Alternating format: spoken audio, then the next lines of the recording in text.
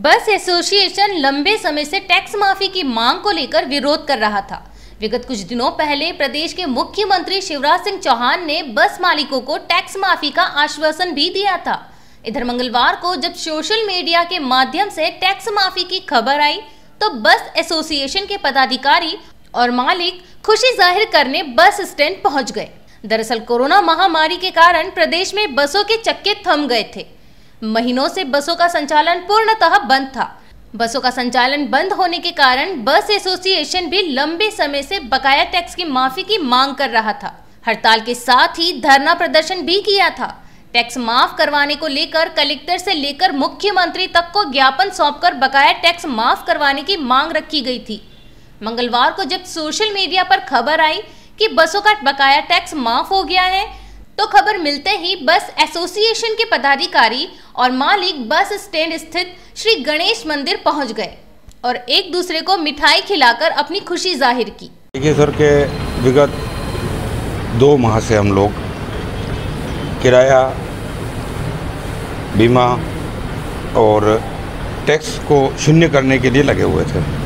माननीय मुख्यमंत्री जी ने पहले घोषणा की, आज हमारे विभागीय कंप्यूटर में, जो साढ़े पाँच माह का लॉकडाउन पीरियड का जो टैक्स है, वो ज़ीरो हो गया हम माननीय मुख्यमंत्री जी को सहृदय आभार व्यक्त करते हैं कि उनने हमारे प्रार्थना के ऊपर ये जो टैक्स का जो हमें माफ़ करके एक लाभ दिया है, उसके लिए हम मुख्यमंत्री जी के आभारी हैं। हमारा माननीय मुख्यमंत्री जी से विनम्र आग्रह है कि चूँकि डीजल के रेट काफ़ी बढ़ गए हैं। महँगाई बढ़ी है। किराया वर्ष 1900 2018 में सॉरी 2018 में किराया बढ़ाया गया था। उसके बाद किराया नहीं बढ़ा है। तो हमारी किराया वृद्धि की जो मांग है, जिसमें अभी विगत तीन चार दिन पहले किराया बोर्ड की जो बैठक हुई है, उसमें जो प्रस्ताव बन के गया है, उसको स्वीकृति प्रदान करें। साथ ही हमारा विनम्र आग्रह यह है कि लॉकडाउन पीरियड में जैसा माननीय मुख्यमंत्री महोदय ने हमारा कर माफ़ किया है।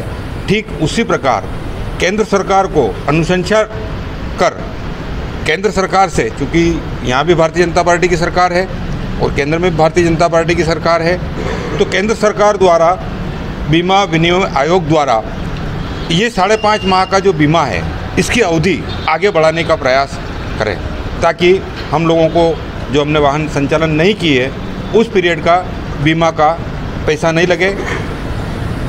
इसके अलावा हमारी एक मांग और है, माननीय मुख्यमंत्री महोदय से, कि जो हमारे गाड़ी सिलेंडर करने का के फॉर्म का सिस्टम है, वो काफ़ी जटिल है।